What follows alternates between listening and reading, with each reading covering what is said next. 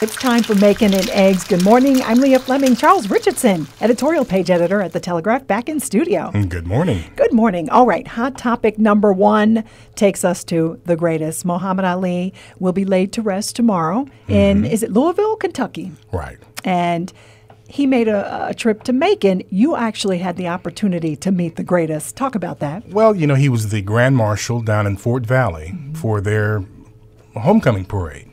And you know, this was back in 1989, so he was a much younger fellow then, than and he, and so was I. Um, the thing I remember most about him is that he was just a friendly fellow, just getting along with everybody, but shaking his hand. You know, he wa- he was about six two, still in very good shape. Was he boxing then, or no? He no, had no, he, he, he wasn't boxing then, but his hands were huge. You know, I've got pretty big hands too, and it's just like he just swallowed mine up.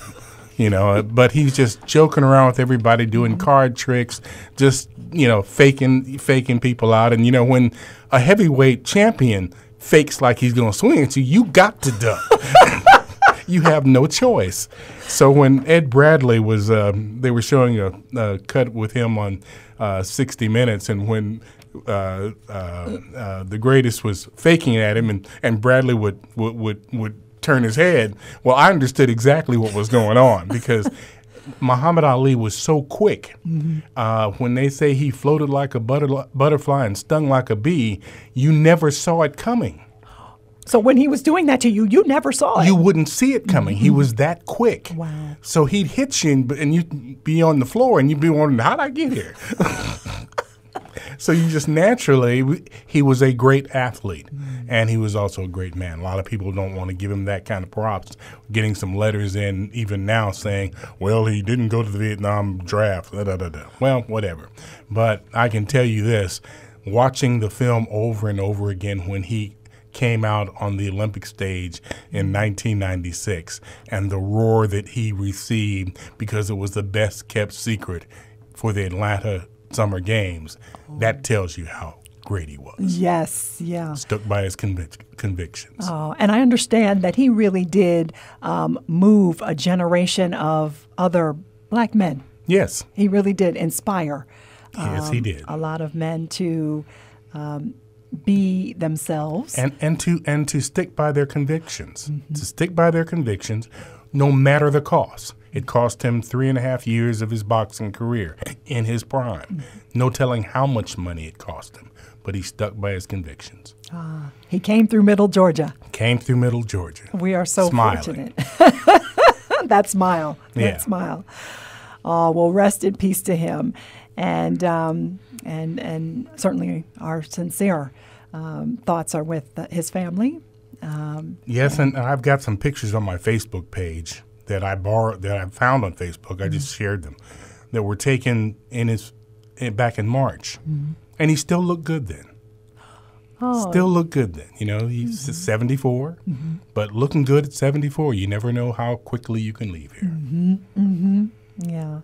Well, rest in peace to the greatest. All right, on to hot topic number two. The Bibb County School Board has tentatively approved a $197 million budget for the upcoming fiscal year that would give a 3% raise to employees. Yay. Uh, the Telegraph reports, though, that uh, board members. Um, they did vote to approve the budget, six to two, but if approved, that would mean higher property taxes. Yes.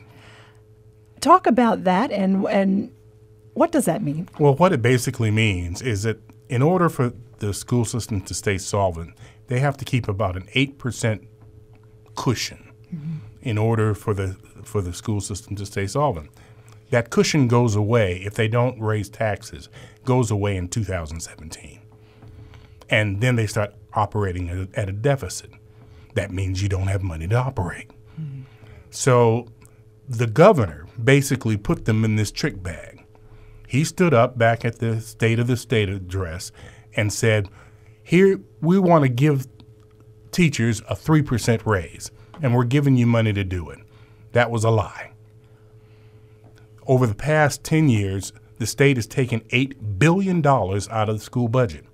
If the state wanted to give teachers a raise, all he had to do was increase the state st- the state contributions to teachers' salaries. he didn't have to ask anybody. So he said, We hope the districts will give them a raise.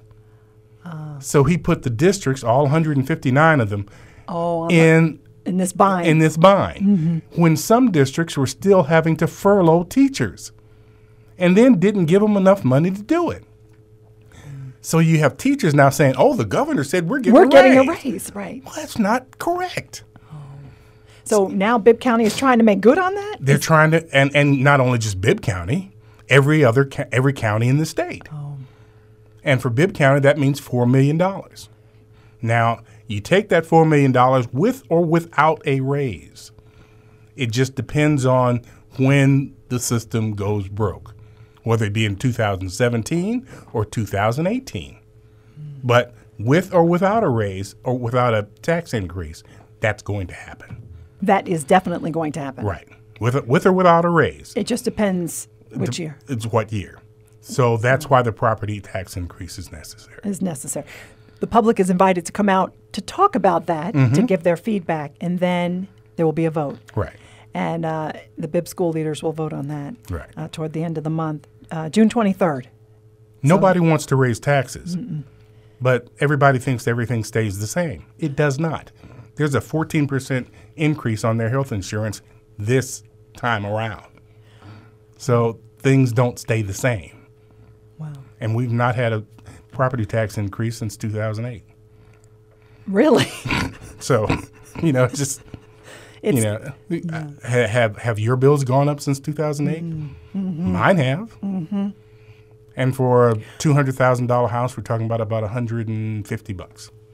Okay. So this is what uh, people could potentially see. Right. And I know that the Bibb County School Superintendent has said we need to remain competitive uh, by making sure that the salaries of our educators, Right. you know, And and the the, the school funding formula uh, called QBE, one the state has never ever fully funded it. And since, to give you an example, Houston County is is is categorized as a rural county, meaning they get about a hundred million dollars a year more than Bibb County. So you Yeah. know, talk about competitive. talk about competitive. yeah. Yeah. It's hard to be competitive when somebody's got a hundred million dollars more than you. Exactly. oh, good. Speaking of schools, uh, this is hot topic number three. A federal bankruptcy judge has set a date of June 22nd uh, for a hearing on whether state officials can go ahead with plans to shut down the Macon Charter Academy. This is uh, an academy that has just had trouble after trouble since it opened last fall. It's only a year old, and it's it's not going to make its first birthday. This is it, you think? This is it. I mean, the state is the state and the local board has said that the reason they're going through this is so that they can take its charter away. And uh, they thought the the MCA board thought that maybe the bankruptcy would hold that off, but it's not. So this will, so by the fall, students will need to have a place to attend. if if you are a parent right now and you have thoughts of t- sending your child there, you better rethink that. Yeah, yeah. So June twenty second is the date uh, that we will we will know probably for sure. We'll know for sure, and then of course the state board will have to act at its next meeting, and mm-hmm. it'll go on from there. Yeah, but in the fall, students will need a place to attend school. Right. Yeah. All right. I know that's most unfortunate for so many people that had high hopes for this academy. High hopes, and and and it's it's it is a shame because mm-hmm. it's not the children's fault. No. But when you don't have computers in classrooms, Yeah. when you have Sanitation issues. Good grief. sanitation issues, when you start off your school year at the Centreplex, Yeah. from the very beginning, it's been troubled. And that's the thing about charters is if it's not working, you're supposed to close them. Yeah. Yes. Yeah. All right. Well, that is most unfortunate, um, and we will continue to watch, and we'll talk about it again when we next meet. Uh, so this is it for us for this week. Uh, go to Macon.com to see the video. We are on video. GPBnews.org is the other place. to go. something to look at. I'm not. Yes, you are. always smooth, always smooth. Charles is. All right, we'll be ba- we'll be back again next week. See you there.